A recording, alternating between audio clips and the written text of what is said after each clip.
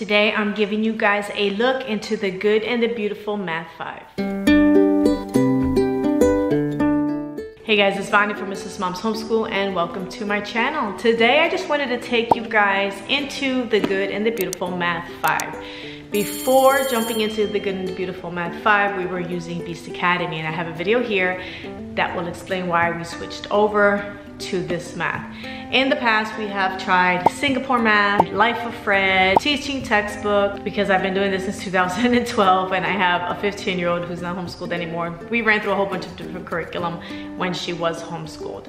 Um, unfortunately, at that time, The Good and the Beautiful did not have math. I had been doing math with my now second grader since she was in first grade with the good and the beautiful when since she started math whatever level the Good and the Beautiful Stars math, that is when we started their math with my first grader. So when they came out with the upper grades, I was super excited, especially when I realized that Beast Academy math wasn't working out for my son and I needed to something else.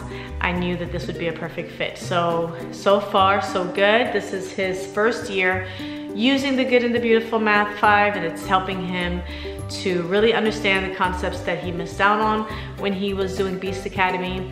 And I'm gonna give you a look into this math and show you what it comes with and show you what kinds of lessons they're gonna be learning and things like that. So here you have the Good and the Beautiful Math Level 5. It comes with the course book, the Mental Math Map Mysteries, and the Math 5 answer key. So let's take a look inside each one. Okay, so this math is broken up into four different units and you may not be able to see well, but it starts off with prime factorization, it does fractions and per percents, long division with remainders, mean, median, and mode.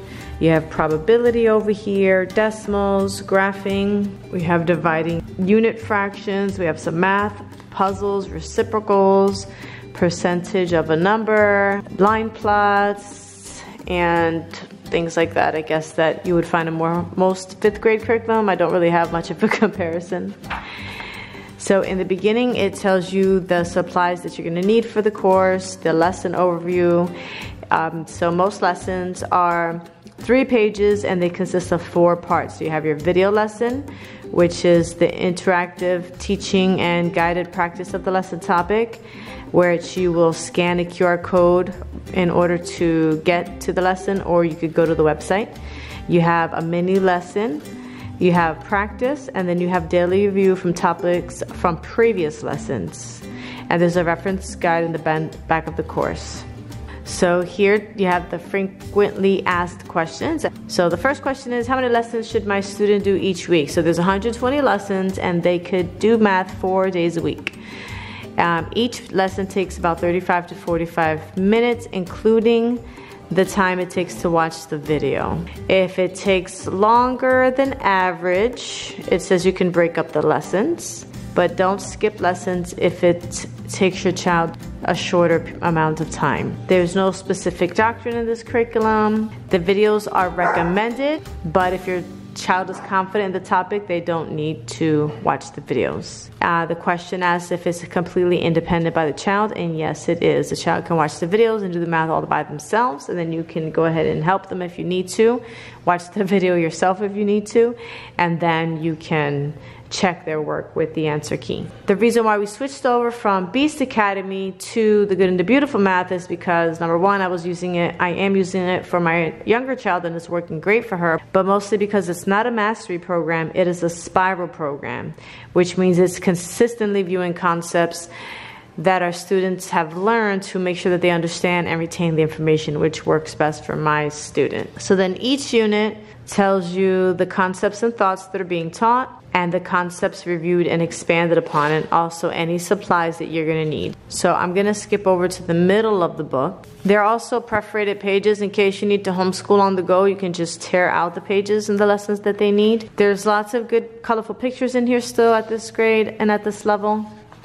So if you see here where my child was learning about Fahrenheit and Celsius, I'm going to zoom in closer. Okay, so the first thing they're supposed to do is complete the mental math map mysteries activity. So let's hop over to that right now. Okay, so we are gonna match lesson 44 from the course book to lesson 44 from the mental math book. And here it says story problem. Abe wants to finish his 245 page book. He has read 42 pages. How many pages does he have left to read? So he's supposed to be able to do this in his head and then state what the number for each Roman numeral is. And then he can check it off and do this every day. And then on the opposite page, are the, is the answer key. So you can, if you trust your child, you can have them just fold this over and do it and then check the answers later. My son would write them down and then check the answers later. Or you can just ask him the, or her the questions and then see if they can get the correct answer. All right, so after that, they scan the QR code. So we'll go ahead and do that now. You just take the camera app on your phone and once it comes into focus, the website pops up or you can just go to the website, thegoodandthebeautiful.com slash math5. Once you're in the website, you're going to go into the correct unit and lessons. Hello. This lesson, have a look around.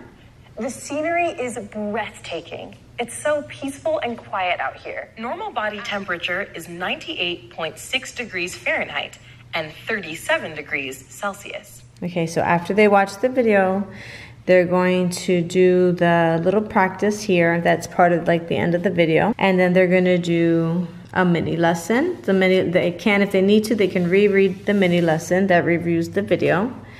And then you have your practice. The practice is exactly what they learned in the video. So you they have quite a bit of practice, but not too much.